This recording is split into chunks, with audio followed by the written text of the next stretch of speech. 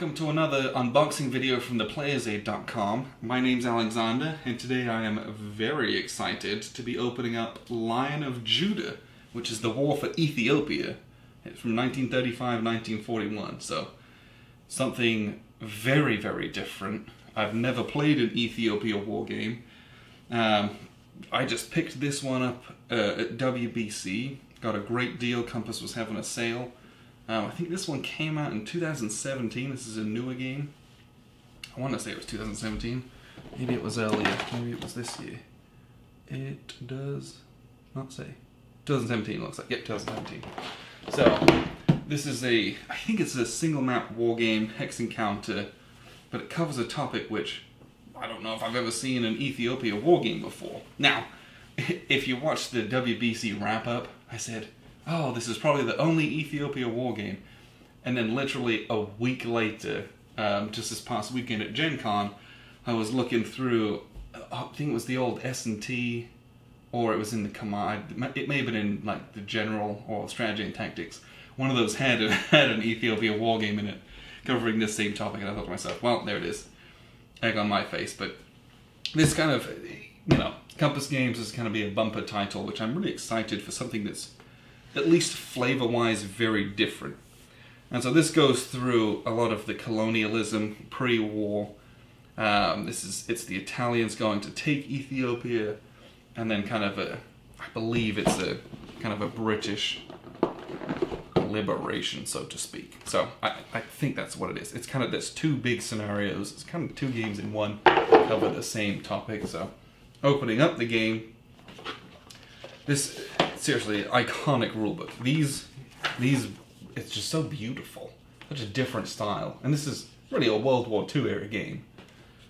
We got this big warrior on there with with a rifle bayonet attached. Just the vibrant colors make this game appealing. It's part of what attracted me to it. Um, so this rulebook is not particularly long, which is nice. 16 pages, including the back page, which is a full extended sequence of play, which we'll keep that out on the table when we play. Let's see. Yep, and all of this is rules. So 16 pages of, really 15 pages of good rules here. Lots of pictures. And the text is dense, sure, but there's still a lot of white space there as well, so not too bad. This should be a pretty easy one to pick up and learn. So that's nice. Nice standard rules there. And the playbook is, let's see how long this is. The playbook's actually longer. It's like there's 22, 23, 24 pages.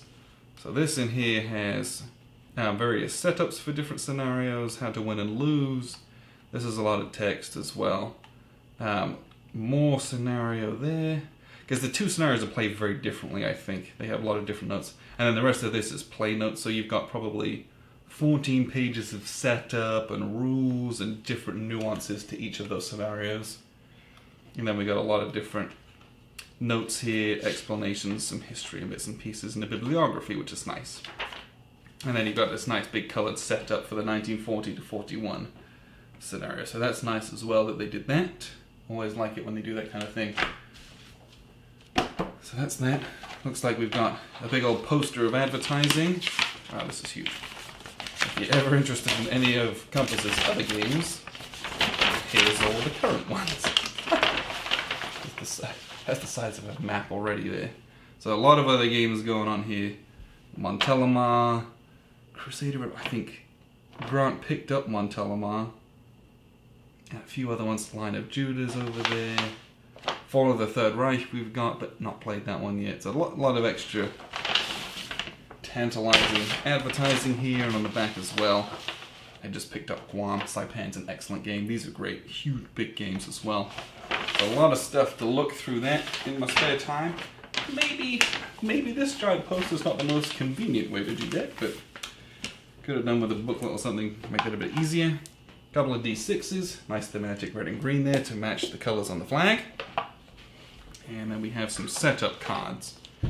So these are nice. This is 1935 through 36 scenario, and that's the 40 through 41 setup. So you get nice full color. Again, I really like setup cards, especially when they're full color and they tell you all the hexes and where to put them, or at least the areas. And they've got the uh, reinforcements down here as well. That just that helps me to get the game played. I really enjoy those Got a nice unit key here as well. Kind of describes all the different nuances of the different counters. One thing that I did notice that I am very excited for. Does this show it? Oh.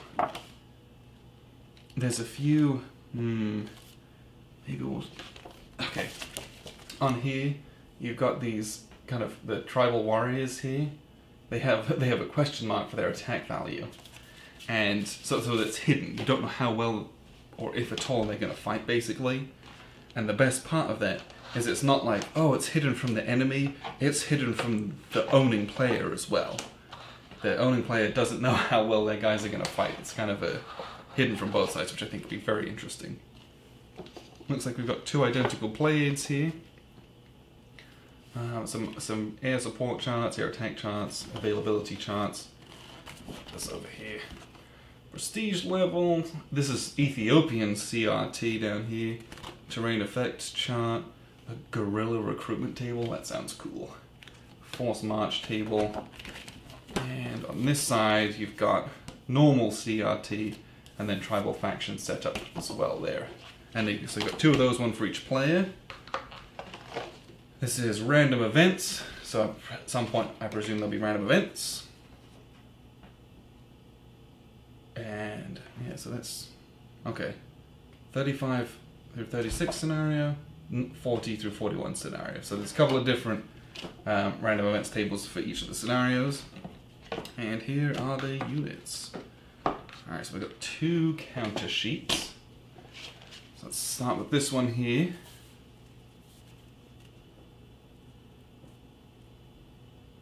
So you have Italian units over here. I think, oh well, oh, I don't, I don't want to mess that up. I believe, yeah, so these are Italian regulars. These are colonial regulars, which are part of, they're like Italian colonials, so from like Italian Somalia and other of their colonies all coming together and fighting. You got British forces here as well. You got the cool biplanes and things like that. You got tanks.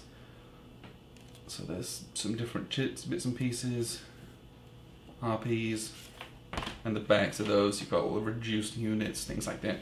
Digging what looks like trenches or field works, and then these are the completed side. And then we've got more of these units here. Um, these are, and let me qualify that. So these are the 1940 through 41 regulars for the Italians. This is the earliest scenario where they've got a lot more. This is the invading force. And there are a few German units. The German units, well, singular. These are this little mobilized one here.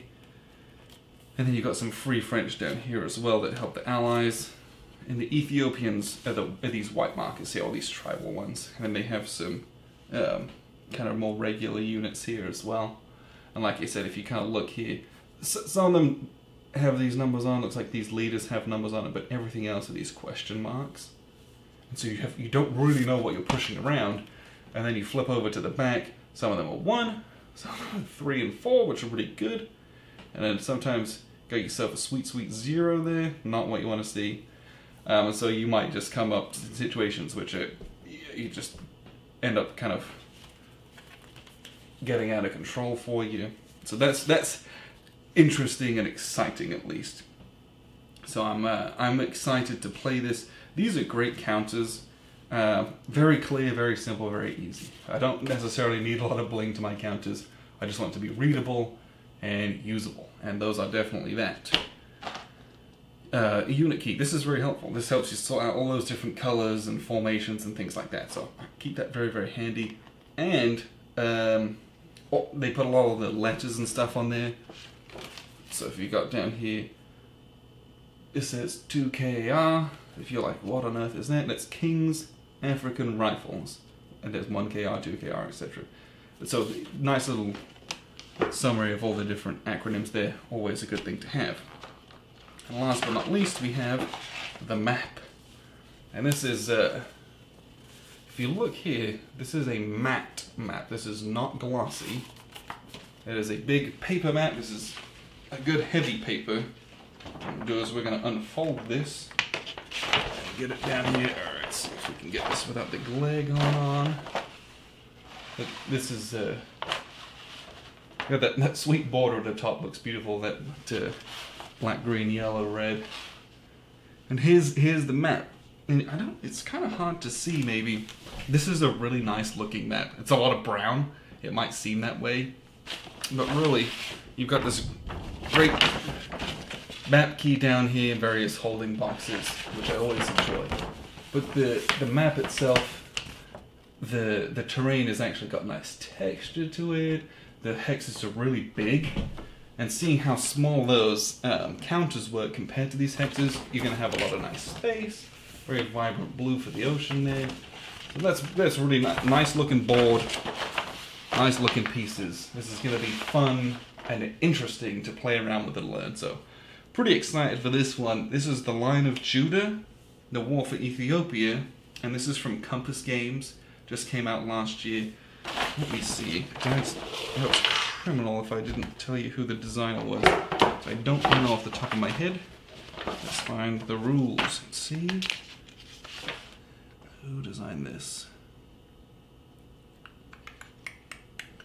Hmm. Well, I don't know who designed this. Unless they're hiding it from me. It's gotta be in here somewhere. I don't want to leave that person out. I wonder. Surely there's designer notes. Bibliography. Credits. Okay, the designer. Okay, here we go. Right at the back here. The designer was Javier Romero. I don't want to leave him out because this is great. And the uh, cover art's by Knut Grunitz and uh, Brian Miller. Also great. So pretty excited for that. They did a good job with this cover art. So very excited for this. Lots of different colors, lots of things going on in this game. But I'm excited to get this one to the table just to just to play around with something, frankly, entirely different from the stuff I've played. So that's Lion of Judah from Compass Games, and I've been Alexander from theplayersaid.com. Thank you very much for tuning in.